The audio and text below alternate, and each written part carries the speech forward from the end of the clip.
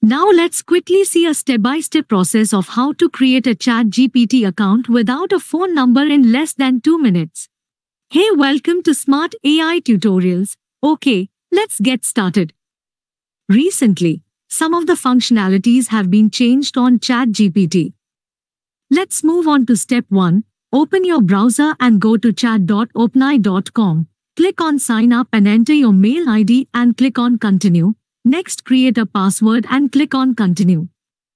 Now let's move to step 2. Verify your Gmail account, then put your first name and last name and your date of birth. Then click on continue.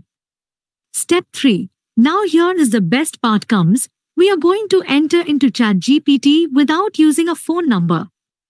Choose your country. Then go to this website called Receive SMS. Just go to it, copy a number under a country and then return back to ChatGPT and paste it here and click on continue. Now this phone number may not work sometimes. I will give you a solution for that in the fifth step.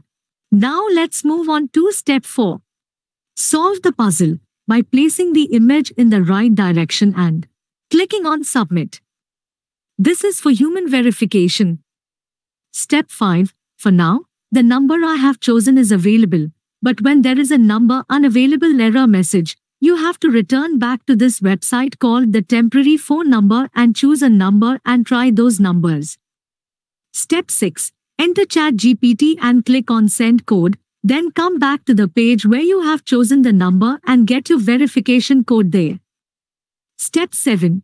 Paste the verification code on ChatGPT and now you have successfully created a ChatGPT account without using your phone number. That's it. Have a nice day.